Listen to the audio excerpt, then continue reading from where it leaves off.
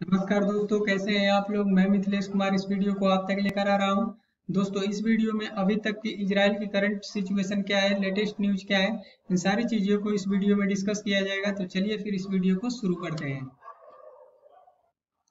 दोस्तों, इसे Indian press में भी कवर किया है। तो इकोनॉमिक्स टाइम का एक आर्टिकल है कि Israel kills the Islamic jihad commander Hussein Abu Hardeep.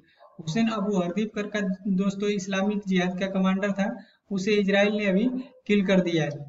और लगभग ये देखेंगे कि इसराइल जो इसको किल किया है, ये अपने सेंटर में रहता था, दोस्तों, घर में। और ये हमास का चीफ है, जो रात के वक्त में इसराइल ने बम गिरा के इसे मारा है। और इसराइल ने इसको एक वीडियो जारी करके भी दिखाया है, जब ये रात के वक्त में एयर स्ट्राइक की गई थी। तो आप इस वीडियो में देखेंगे कैसे इस वीडियो को इसराइल में आप इस वीडियो को देख सकते हैं।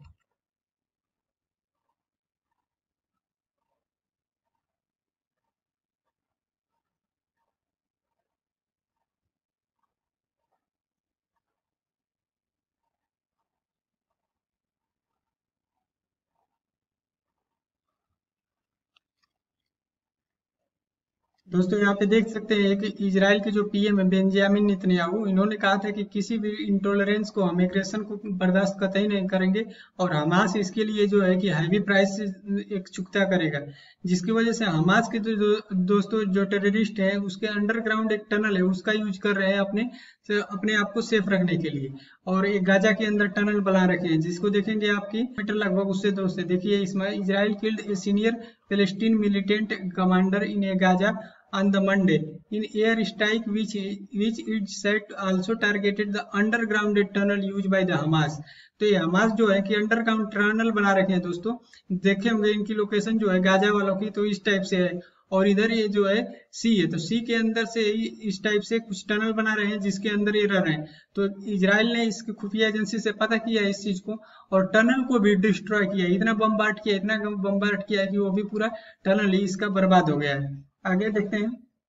देखिए, इस जो चिप है ना गाजा का है, इसमें इस टनल में छिपा हुआ था, जिसकी वजह से ये सेफ़ रहते थे। तो इसको एक एयर स्ट्राइक से उसको डिस्ट्रॉय किया गया टनल को भी और इसको भी मार गिराया गया और देखेंगे Israel military set Gaza militant fired about the 60 rocket लगभग 60 60 रॉकेट जो दागे गए हैं, एक ओवरनाइट के अंदर, जो कि पिछले दो दिनों में लगभग इसकी संख्या जो बताई जा रही है, एक 120 से 200 के बीच में है।